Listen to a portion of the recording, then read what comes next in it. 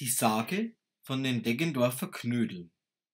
Es wird berichtet, dass im Jahr 1432 aus Böhmen wilde Kriegstruppen, die man Hussiten nannte, in Bayern eindrangen und plünderten. Als die Hussiten seinerzeit den bayerischen Wald durchzogen, kamen sie auch nach Deggendorf und belagerten es.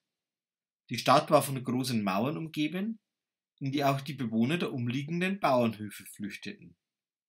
Die mutigen Bürger Deckendorfs stürmten gleich auf die Mauern und verteidigten ihre Stadt energisch gegen die anstürmenden Angreifer. Tag und Nacht hielten sie auf den Mauern aus. Ja, wenn die Feinde eine Pause im Kampfe machten, dann aßen und schliefen sie sogar auf den Wellen. So ging es einige Wochen, und die Belagerer wollten so lange warten, bis der Hunger in Deckendorf ein Übriges täte.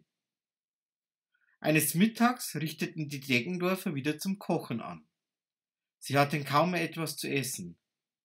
Aus den Resten der Speisen, die noch übrig waren, sollte es Knödel mit Sauerkraut geben. Da der Hunger der Belagerten groß war, durften die Knödel auch nicht zu klein ausfallen.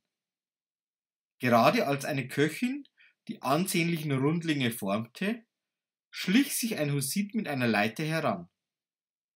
Er stieg sie und schaute neugierig über die Mauer. Plötzlich flog ihm ein Riesenknödel mitten ins Gesicht.